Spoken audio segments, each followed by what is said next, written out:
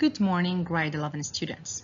In our grammar lesson today, we are going to study reported questions, commands, and requests on your student book, page 136. It is a part of reported speech, but we are going to report questions, commands, and requests.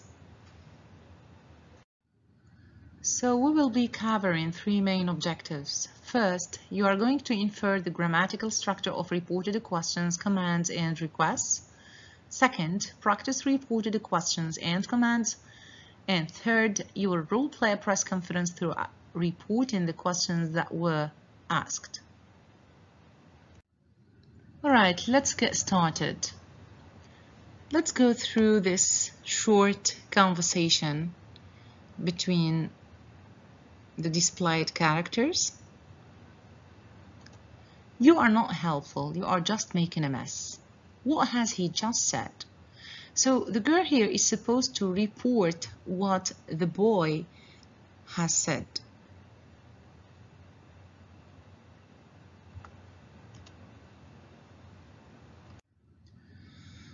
So, as previously studied, when transforming statements, check whether you have to change pronouns, tense, place and time expressions, and of course, you can refer to the grammar reference page 171. So what do you think the girl has said when she reports the boy's speech.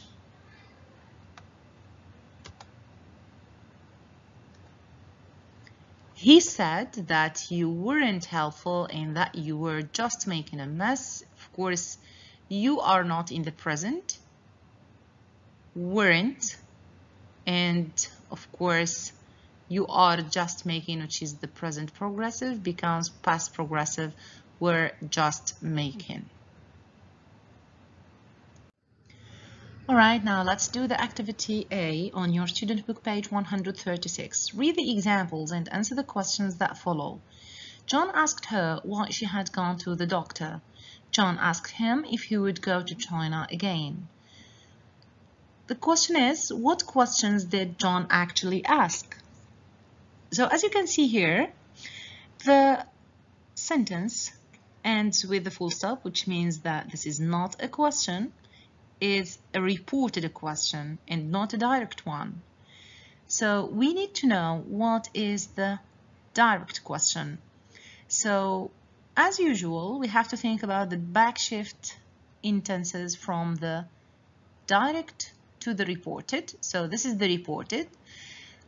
And we have here had gone, which is the past perfect. So the direct question is supposed to be in the past simple. Why did you go to the doctor? So did you go is the past simple here and this is the direct question. Next one, John asked him if he would go to China again. All right, so we have here would.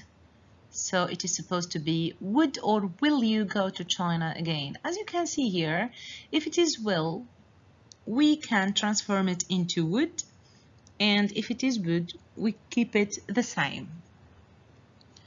So we currently as you can see here report the questions or introduce reported questions with some words like asked here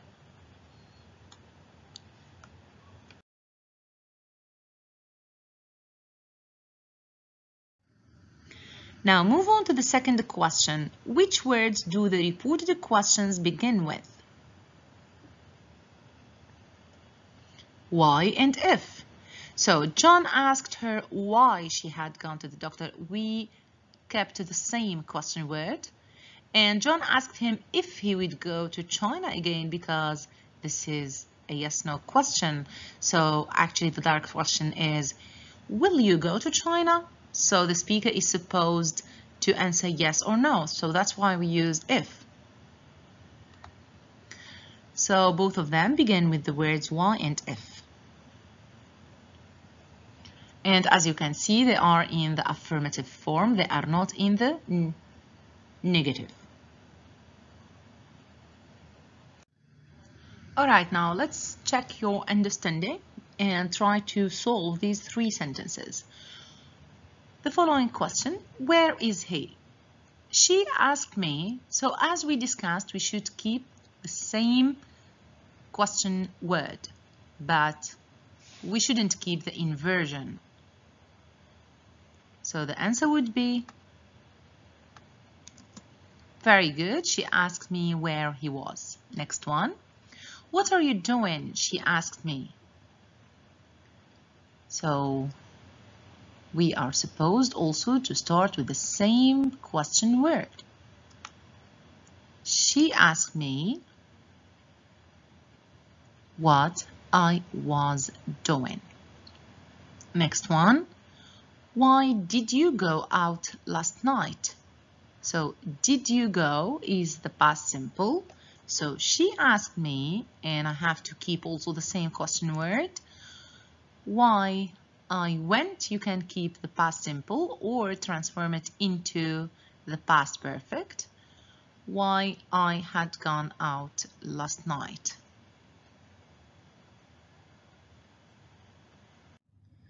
Move on now to the activity number B. Read the dialogue below and answer the questions that follow. Now, as you can see, the conversation, short conversation here. So between the guy, Tina and Dina. Follow me, please. And here, don't be rude, Lindsay. So which one is a request and which one is a command? As you can see here, follow me, please. This is a polite request. And don't be rude. This is a, a command. Which verb is used to report a command? So let's see. What did he or what did she say to Lindsay? She told her not to be rude. So Dina is reporting what Mrs. Smith has said and she used the verb tell in the past, told. Which verb is used to report a request? As you can see here, Dina, he asked us to follow him. So the verb used is the verb to ask. Now, what does the imperative example follow change to in the report reported speech? Here the guide, follow me please, and here to follow. So it changes to plus the base form. Now, what about the negative imperative, don't be? So don't be rude here. She told her because this is in the imperative, it's an order given. So she told her not to be. So to answer this question, it changes to not to plus verb in the base form. Not to, for example, plus be. We commonly introduce reported commands and requests with ask, tell, and order.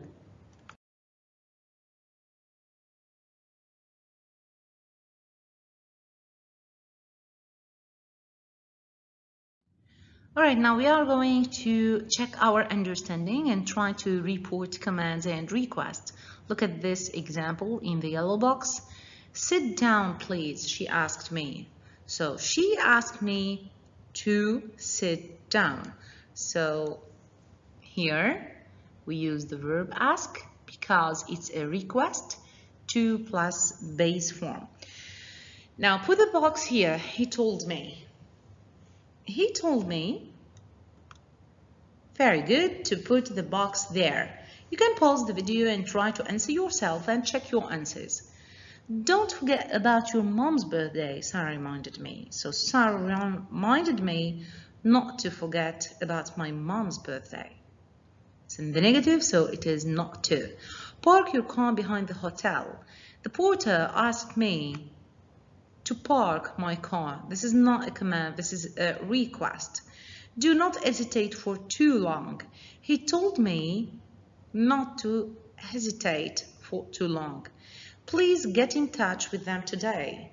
He asked me to get in touch with them that day. So today becomes that day. Now let's move on to the exercise C, page 136 on your student book. We are going to practice reporting questions, commands, and requests. Alright, now we are going to read the text below and circle the correct option, which is about the South African trip. Jim wanted to go on a trip to an exotic destination, so he decided to get some advice from his friend Mike, who worked at a travel agency. He asked Mike where could he go or he could go. As you can see, this is a reported question and not a direct one. And we said in the reported question, we cannot use the, the inversion like, could he go it's a reported question, so the answer would be he could go. Mike advised him. So to advise someone to go on a package tour. So as you can see, this introductory verb requires to plus base form. On a package tour to South Africa, which was very interesting destination. The package tour included visits to peaceful and scenic landscapes along with the garden, along the garden route. Excellent views of Cape Town from the top of Table Mountain, as well as many entertaining activities in Sun City. Jim liked the idea but wanted to know if it would cost or if it will cost a fortune. As we said, this is a reported question and not a direct one and in the reported question we are not supposed to use well because this one is used usually in the direct questions. And when we do a backshift in tenses well becomes would. Mike told him that he is lucky or he was lucky. So when I say you are lucky this is direct statement. And of course if I want to report this, you are lucky, I will make it in the past.